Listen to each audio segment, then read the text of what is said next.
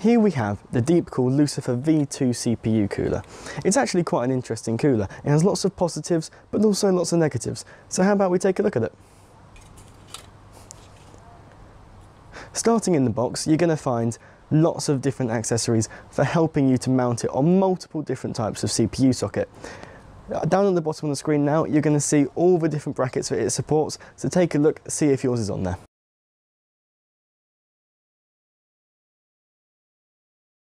Moving on to the aesthetics of the CPU cooler, you're going to find a weirdish greeny blue sort of fan. Now, that's not really something we see very often, and if that's what you're going for in your colour, then fair enough, get this fan, it'll be great for you. But not many people are, and I don't see why you would. So Deepcool's decision to go with this colour, maybe not one that I would have made myself. Probably would have gone with a black, that's, that's fairly safe in most builds. Don't know why it wasn't kept standard. Really probably is going to hit sales on that one. But you never know, you might like the CPU cooler enough to just replace the fan. Moving on to the cable. Now, if you look at here, you're going to find a really nice sort of sleeved cable. It's actually quite nice compared to what you're going to find on many of the competitors. So great plus side to Deepcool there. Moving on to construction, you're going to find six heat pipes. They feel pretty well made, nice and thick, and between the fins there's quite a bit of space. So it's, that's actually very good if you want to have a quiet build because it means it's better for low RPM fans, it's better to push air through. So good job on that one, Deepcool. Moving on to installation.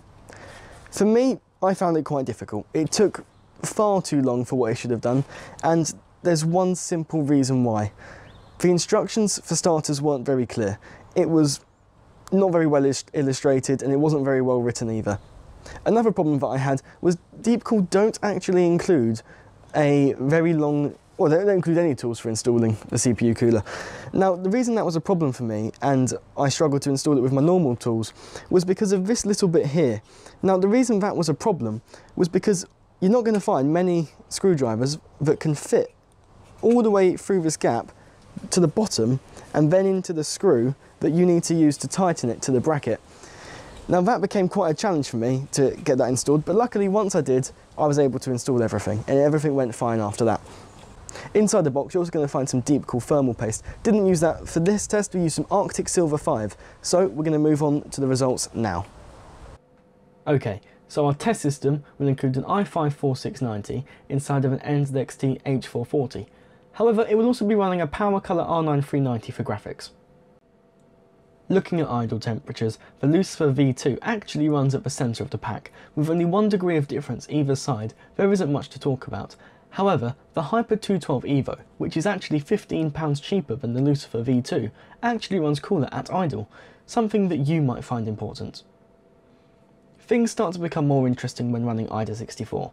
Here we see that the Lucifer V2 actually runs at the coolest, hitting a maximum temperature of 74 degrees Celsius, the next closest being the Noctua at 75 degrees Celsius, whereas the NZXT trails slightly sluggishly behind at an 86 degrees Celsius, not very impressive.